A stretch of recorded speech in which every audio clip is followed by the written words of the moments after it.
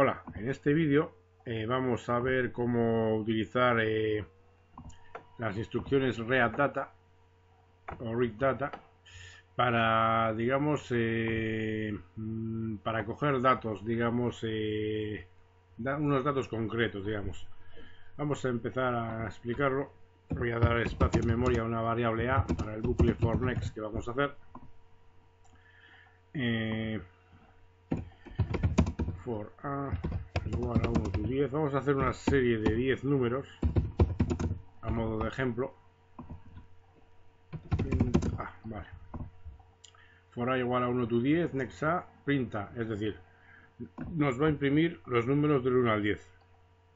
Nos va a imprimir la variable a, que es la variable, la propia variable del for next. Es decir, la primera vez 1, la segunda 2, la tercera 3 y así sucesivamente.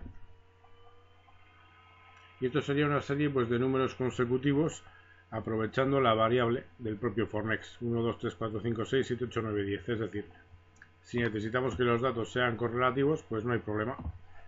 Vamos a, vamos a hacer que elija un número aleatorio. Aquí vamos a ver qué número igual a int rnd de 10 más 1. Esto recordemos que era eh, para elegir números aleatorios. Randomize Timer iba asociada también a esto. Va a elegir un número entre el 1 y el 10 y lo va a meter en la variable qué número. Y vamos a imprimir no a, sino qué número. Es decir, eh, una secuencia de 10 números, pero aleatorios. Ya no va a ser 1, 2, 3, 4, 5, 6, 7, 8, 9, 10 sino que van a ser 10 números aleatorios, que ahora veremos. 5, 4, 2, 6, 4, 2, 5, 7, 4, 4. Esto es una secuencia de números aleatorios. Entonces allá vamos con el data, es decir, cuando necesitemos una serie de datos concretos, que no nos valen ni que sean aleatorios, ni que sean seguidos, consecutivos, entonces eh, podemos utilizar eh, las instrucciones eh, read data. Vamos a verlo. Vamos a quitar el aleatorio. Vale.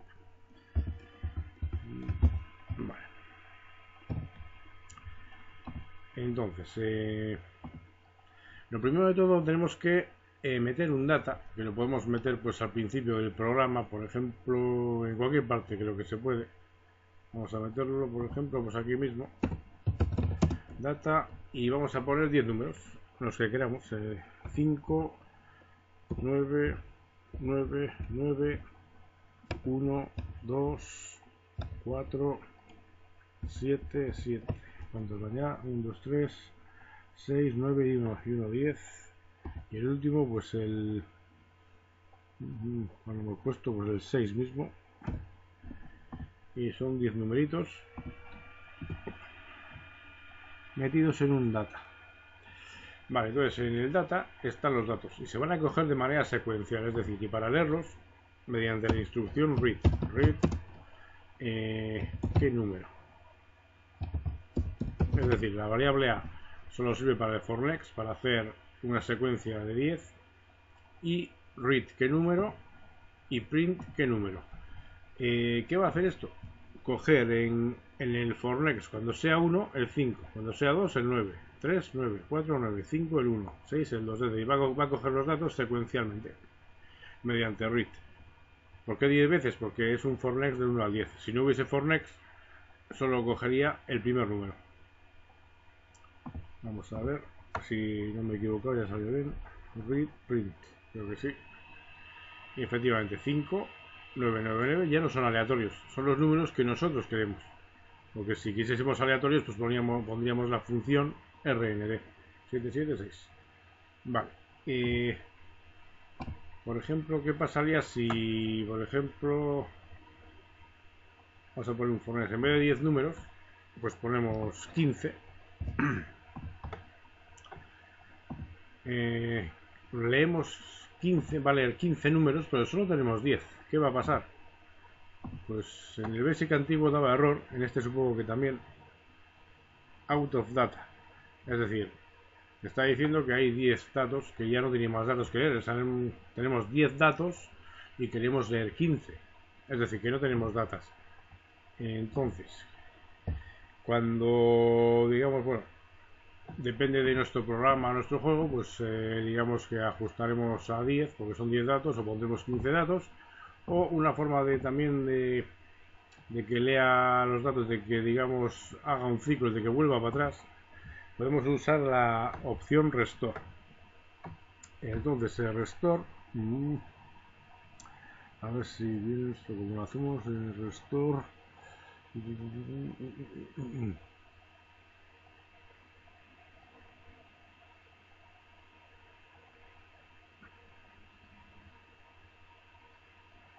Bueno, en este caso, pues bueno, tenemos que saber los datos que tenemos. Entonces, eh, diríamos que si podemos poner un if, if eh, a igual a 11, eh, o sea, tenemos hasta el 10, pero ya, entonces cuando es 11, nos quedamos en out of data. Entonces, si a es igual a 11, entonces restore. Restore es simplemente resetea los datos. Bueno, restorea, restorea, mejor dicho. Es decir, después del 6 no vendría ninguno, pero volvería a 5. Es decir, en este caso saldrá la secuencia y luego saldrá 5, 9, 9, 9, 1, 2. Vamos a verlo.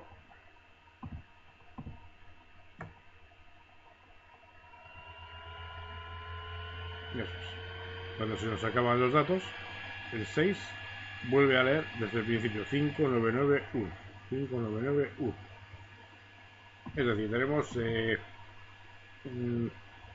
read data y restore. Otra cosa que podemos hacer es, por ejemplo, si el for next es hasta el 10. Vale. Y aquí, por ejemplo, hacemos un sleep, una pausa. Y después del sleep, eh, vamos a poner un, vamos a meterlo dentro de un bucle, de loop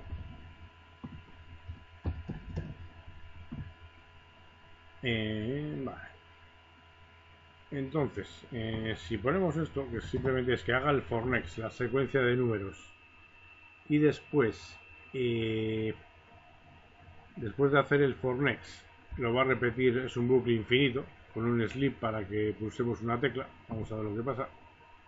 Es decir, he quitado el restore. Entonces, a la primera, al primer bucle, ahora está haciendo el sleep, está parado el programa, está pausado hasta que pulsemos una tecla. Y cuando pulse una tecla va, digamos, otra vez a hacer el for next y obviamente nos quedamos sin datos como antes.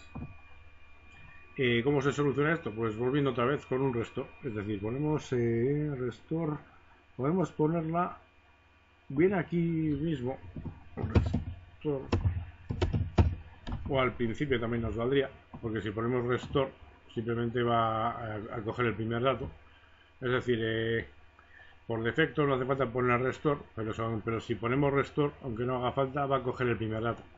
Entonces, resumiendo, que cuando nos quedemos sin, sin datos, restore. Mediante restore podemos hacer el loop porque simplemente va a repetir. O sea, va a resetear los datos